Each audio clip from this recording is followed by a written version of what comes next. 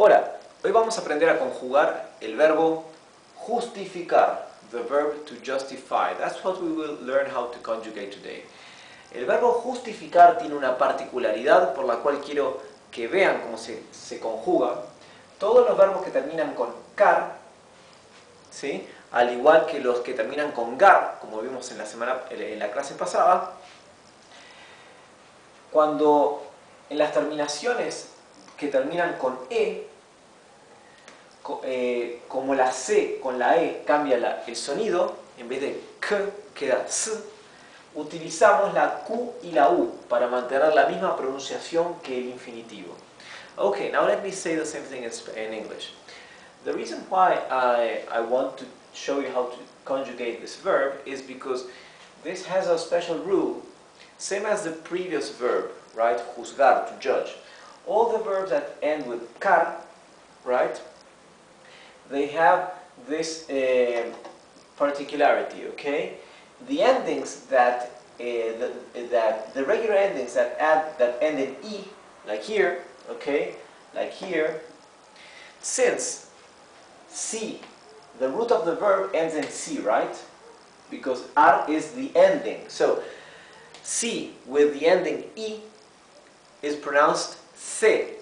So we lose the, the k sound of the letter C. We lose the k, the, the hard sound.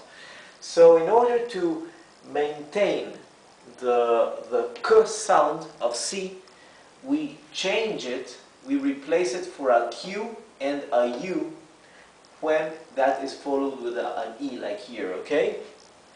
So that will apply for all the verbs that have the same ending as justificar, all the ones that end with, with car, right? Bien, vamos a empezar ahora con el tiempo presente, conjugar en tiempo presente. Yo justifico, I justify. Tú justificas. Él justifica o ella justifica. Nosotros justificamos. Vosotros justificáis. Ustedes justifican. Ellos justifican. Ellos, ellos justifican a su amigo. They justify their friend. En español utilizamos justificar cuando estamos en realidad dándole la razón o excusando a alguien por su actitud, por una actitud. In Spanish we use a verb to justify when we are excusing somebody for certain attitude or behavior, okay? For example, if somebody uh, misbehaves and we want to excuse him saying, okay, he did that because of such and such thing, okay? In Spanish we say that we justify him, okay? Lo justificamos. Bien, vamos a ver ahora el pasado simple del verbo justificar. Yo justifiqué. Tú justificaste. Él o ella justificó. Nosotros justificamos. Vosotros justificasteis. Ustedes justificaron. Ellos justificaron. Pueden ver que aquí hemos cambiado la C por la QU. Con el motivo de mantener la pronunciación K de la C en el verbo infinitivo, ¿verdad?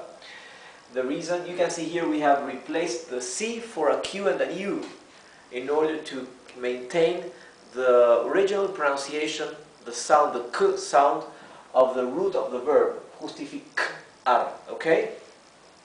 Bien, veamos ahora el futuro, el futuro simple. I will justify, okay? Yo justificaré. Tú justificarás. Él o ella justificará. Nosotros justificaremos. Vosotros justificaréis. Ustedes justificarán. Ellos justificarán. Ahora tenemos el otro, la otra forma de conjugar el futuro simple en español. Let's see the other way of conjugating the simple future in Spanish. Same as in English, we have I will justify and I am going to justify. Okay, I am going to justify, we say, Yo voy a justificar. Tú vas a justificar. Él o ella va a justificar. Nosotros vamos a justificar. Vosotros vais a justificar. Ustedes van a justificar. Ellos van a justificar. ¿Ok? Veamos ahora el participio presente o también llamado gerundio.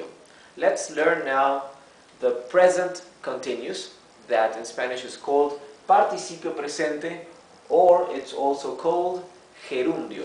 ¿Ok? Yo estoy justificando, for I am justifying, ¿ok? Yo estoy justificando a mi amigo, I am justifying my friend. Tú estás justificando, él está justificando. Nosotros estamos justificando. Vosotros estáis justificando. Ustedes están justificando. Y ellos están justificando. Ahí tenemos el gerundio o participio presente. Veamos ahora el imperativo, que es la última conjugación que veremos. Empezaremos con el afirmativo y veremos el negativo. En el negativo solo he escrito las dos conjugaciones que varían con respecto al afirmativo. So let's see now the imperative tense and for the negative I have just written the two conjugations for the two subject pronouns that vary or that change re with relation to the, uh, the affirmative, okay?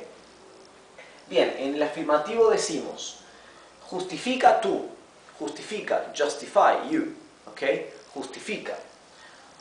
Justifique él o ella. Justifiquemos nosotros. Let's justify, justifiquemos. Justificad por vosotros. Justificad. For ustedes we say justifiquen. Justifiquen. And for ellos as well, justifiquen. Justifiquen. And the, the two that change in the negative are tú and vosotros. We say no justifiques. For example, do not justify this guy. No justifiques a este tipo.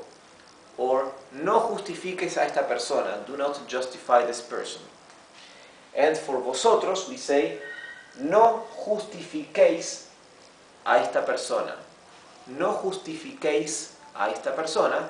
Do not justify this person, right? For you plural. ¿Ok? Bien, ya tenemos entonces la conjugación de, del verbo justificar. Claro que en español tenemos mucho más tiempos verbales, pero estos son los más utilizados. ¿sí?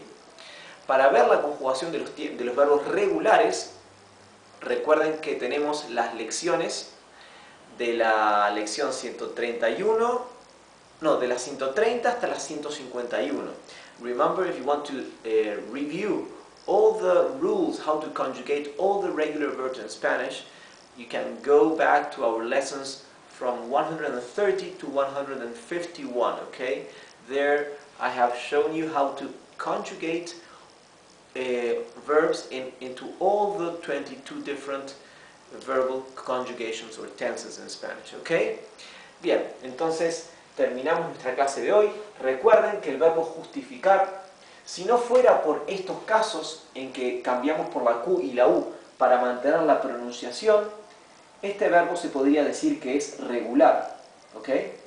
If it were not for these cases where we, we replace the C for the Q and the U, just in order to preserve the pronunciation or the sound of the K, this verb would be a regular verb, okay? So remember that happens with the verbs that end with car and with gar as we have seen in our previous class. Thanks for watching and I will see you again in our next class. Goodbye.